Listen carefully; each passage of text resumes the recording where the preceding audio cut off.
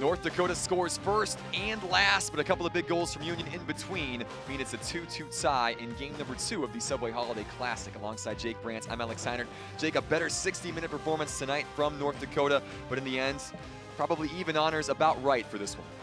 I thought North Dakota really, really they, they addressed the start being an issue. They came out buzzing right away and they got that first goal. I thought it was important for them to start with the lead. Just a couple you know, unfortunate turnovers and a couple uh, quick goals by Union. They had to fight and claw, and they did. I think that's the key that they take away from here. Union with back-to-back -back goals, just 22 seconds apart at the start of the third period, gave the Dutchmen a 2-1 lead. A late goal from Shane Gersich.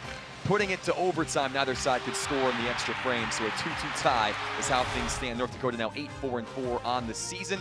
Next week, back at home for UND, a key series against Western Michigan on Friday and Saturday. We hope you join us for both of those contests live on Midco Sports Network.